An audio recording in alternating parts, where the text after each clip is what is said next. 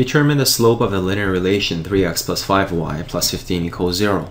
We simply have to rewrite this in our standard y equals format.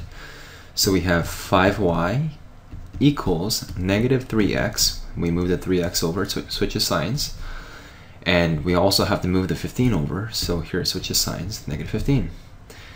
We're going to divide everything by 5. We have y equals negative 3 over 5, x minus 15 over 5, which is the same thing as 3. So the slope here is negative 3 fifths since we have the line equation y equals mx plus b. So our y-intercept is negative 3. This is the y-intercept, the b value. And the slope is the m, which is negative 3 fifths. Choice C is the correct answer.